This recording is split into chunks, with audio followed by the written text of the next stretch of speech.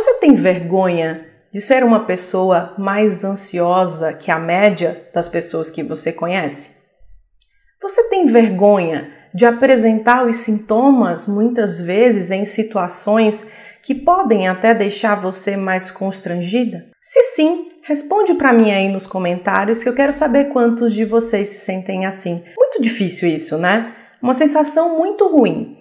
E conversando com isso, com, sobre isso, né, com uma paciente essa semana, paciente muito querida, que provavelmente vai ver esse vídeo, não foi só com ela que eu já conversei sobre isso, mas com ela eu falei, vou fazer um vídeo sobre isso, exatamente porque acredito que muitas pessoas devem se sentir assim. E se você se sente assim, essa conversa é sobre isso. E se é sua primeira vez aqui nesse canal, eu sou a doutora Ana Luísa Guiar, sou médica psiquiatra e inscreva-se aí ativa o sino para que você possa ver os próximos vídeos que podem te tirar dúvidas e ainda assim olhar os outros com conteúdos que já podem te ajudar a tirar outras dúvidas e a lidar melhor com esses sintomas. Bom, a vergonha de ser uma pessoa mais ansiosa pode estar associada a diversas coisas. Está associada especialmente a muitas vezes não se sentir uma pessoa muito compreendida pelos outros. Porque explicar ansiedade é muito difícil, não é? Explicar muitas vezes o que está sentindo é muito complicado, porque às vezes você sente um mal-estar, você sente uma sensação ruim que muitas vezes nem na consulta você consegue descrever. Já aconteceu isso com você? De não conseguir descrever um, uma sensação de peso na cabeça, um formigamento que já passou, né, umas coisas que surgem repentinamente, um gelado no corpo, algo assim, e que por ter já passado e por ser muito rápido, até você se confunde com os sintomas. Muitas vezes explicar o que se sente na angústia é de fato muito difícil. E aí você fica envergonhada de de repente as pessoas não conseguirem compreender e mesmo assim você está sentindo e não estar bem naquele ambiente que você está, mesmo com pessoas que você confia. Eu entendo isso. E esse vídeo é exatamente para dizer que eu entendo isso que você sente. Muitas vezes a vergonha pode estar associada a uma ida ao pronto-socorro que você se sentiu super mal, né? Sentiu toda aquela palpitação, sensação que algo ia acontecer, sentiu falta de ar, achou que precisava de um atendimento porque o problema é cardíaco. Você chega no pronto-socorro, fica na espera, quando chega a hora do seu atendimento, aquilo já passou. E aí você fica envergonhada, tanto de quem com quem te atende, com o médico que te atendeu, quanto com o seu familiar que levou porque parece que você estava tendo uma coisa da sua cabeça, né? Como as pessoas costumam dizer, como se fosse menos grave ou menos ruim o fato de ser algo de emocional, né? E dizer que é coisa da cabeça muitas vezes é uma estratégia de minimização. Mas a gente deixa para lá e ignora as pessoas que usam isso como minimização, né? Apesar disso causar muito sofrimento. Então, essa vergonha pode estar associada ao fato da crise passar rápido, mas o sofrimento ser intenso, de você achar que teria um problema real cardíaco e chega lá não é. E que bom que não é, né? Mas eu entendo que você se envergonhe com isso. Também, muitas vezes, alguns pacientes me dizem que se sentem envergonhados porque parecem ser pessoas fracas, que não sabem lidar com situações de uma pressão maior Olha, eu queria te dizer que isso não é porque você é uma pessoa fraca. Não tem nada a ver com isso. Cada pessoa tem uma maneira de lidar com as situações.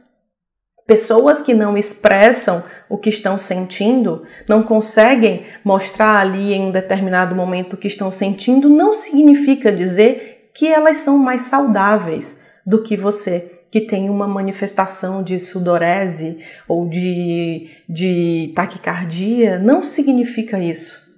Acontece que a forma como um quadro se apresenta para você pode sim ser mais constrangedora, como por exemplo uma pessoa que tem ansiedade social, que fica com suor na camisa, né, em uma situação de exposição, que inclusive tem medo de alguém perceber isso, essa situação é mais explícita e, portanto, faz com que a pessoa se sinta envergonhada, mas não é culpa sua que isso acontece. Aliás, vamos tirar de lado essa ideia da culpa. Pessoas têm quadros diferentes, têm manifestações diferentes e têm histórias de vida diferentes. A principal coisa que você precisa entender é essa diferença não te torna mais fraco. Essa diferença não te torna alguém inferior àquele que não tem. Aquele outro tem outras coisas, porque todos nós temos questões. Muitas vezes também a sensação de ter vergonha tem a ver com muitas vezes a pessoa achar que não é capaz de passar por outras situações, porque às vezes a família ou alguém que está do lado já sabe que ela faz tratamento e usa, é, inclusive, desse conhecimento para, em uma situação de raiva, dizer: Já tomou teu remedinho hoje? Que gera mais irritação. Né? Porque a ideia de já tomou teu remédio hoje, ela é, ela é irônica e ao mesmo tempo extremamente desrespeitosa. E aí você fica evitando até de expressar aquilo que sente, se contendo muitas vezes naquilo que está sofrendo e até evitando de procurar ajuda em um momento de, de aumento, né, de exacerbação dos sintomas, porque você fica envergonhado, porque você às vezes depende daquela pessoa ir com você. Mas essa maneira que essa pessoa que ironiza ou diz já tomou teu remedinho é, lida tem muito mais a ver com a dificuldade desta pessoa de lidar com as fragilidades do outro que muitas vezes ela ama, inclusive. As relações têm muitas coisas entrelaçadas, né? E às vezes os pacientes até dizem: ah, ninguém me entende. E inclusive eu fiz um vídeo ah, ano passado sobre isso, vai estar tá aqui no card, né? Se você não se sente compreendido. Muitas vezes essa dificuldade do familiar, né, do parceiro, da parceira de compreender, tem a ver com a dificuldade dele de ver você, dele ou dela de ver você numa situação de fragilidade. Então, é a parte de quem está sofrendo também compreender, apesar de muitas vezes você estar tá em maior sofrimento. Essa situação de vergonha, ela também tem a ver com o constrangimento de parecer uma pessoa instável. A paciente que eu falei para vocês, né, que, que muito recentemente me mandou um e-mail falando disso, ela falava disso, de que parecia que não podia passar por nada, de nada mudar, porque ela tinha vergonha das instabilidades. Já falei para ela que não precisa sentir vergonha disso e que o fortalecimento né, da, da maneira como lida vai acontecendo à medida que se entra num processo terapêutico, à medida que se entra em tratamento, e digo isso para você também. Esse canal é para você se entender, para você compreender tudo que se passa e tudo aquilo que você sente e se sentir com muito mais força para saber que a culpa não é sua, que a informação que você adquire te dá mais é, é, for, força mesmo, né? Fica mais robusto para entender. Peraí, isso aqui está acontecendo tem uma explicação. Como tem uma explicação a pessoa que trata por hipertensão, como tem uma explicação a pessoa que trata disfunções da tireoide, que trata alergias, que trata diversas outras coisas. O seu não é menor. E os, assim como essas pessoas não se sentem culpadas por seu diagnó seus, diagnóstico, seus diagnósticos, você também não precisa. Porque a gente vive em um modelo e estrutura social de tanta rigidez que ter qualquer tipo de instabilidade que seja mostrada no que diz respeito às emoções parece fraqueza. como se, se tivéssemos que estar sempre bem, 100%, porque isso sim mostra que você é uma pessoa de bem, uma pessoa bem-sucedida ou qualquer outro tipo de coisa. Mas não é bem assim. Quem reconhece as suas emoções, quem reconhece quando algo está errado, quem reconhece que precisa de ajuda, e que busca tratamento que está ali para perceber: peraí, tem algo que eu não estou vendo, tem algo que eu preciso olhar com outros olhos. Peraí, eu preciso de ajuda nisso aqui que eu não estou conseguindo sozinho. Isso não é fraqueza.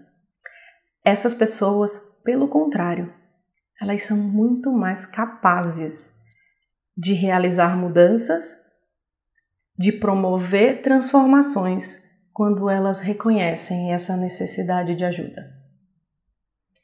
Então, se você se sente constrangido ou constrangida em determinadas situações, compreenda-se primeiro, aceite-se primeiro, trate-se com gentileza, que é o que eu sempre peço para os meus pacientes, acolha-se, tome a responsabilidade sobre seus tratamentos, a sua melhora alimentar, sobre o fazer silêncio e se ouvir. Ouvir as respostas das perguntas que você sempre se faz, porque muitas vezes o estado de ansiedade faz você ter tantas dúvidas e ter tantas perguntas, mas muitas vezes a gente não ouve as respostas que vêm internamente. Então eu convido você que sente vergonha a silenciar, a se acolher, a se respeitar. Não é culpa sua. Busque ajuda se precisar. Medite. Busque ajuda para aprender. Não diga que não é para você, porque vai te ajudar muito. Mas eu quero te dizer, você não precisa sentir vergonha. Mesmo que diversas vezes você já tenha se sentido com muito constrangimento. O tratamento melhora tudo isso, mas a primeira aceitação começa com você. Se você curtiu esse vídeo e acredita que pode ajudar outras pessoas, clica no curtir, compartilha em seus grupos. Inscreva-se nesse canal se você ainda não se inscreveu e eu aguardo você em nosso próximo vídeo. Até lá!